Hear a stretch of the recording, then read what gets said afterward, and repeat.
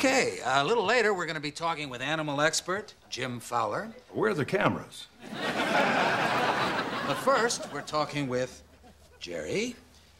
Hey, Jerry, um, you, uh, you drugged a woman in order to play with her toy collection. How do you feel about that? It was great. I've done it a few more times since then. And she doesn't know anything about this. No, not a thing. Well, Jerry, we have a little surprise for you. Come on out, Celia.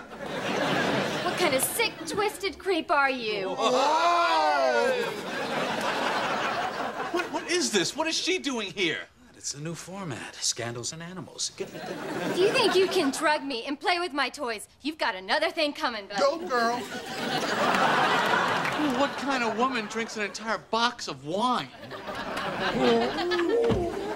Fowler, I, I have a squirrel here that is a miracle of modern science. George, I told you, we're booked. Careful.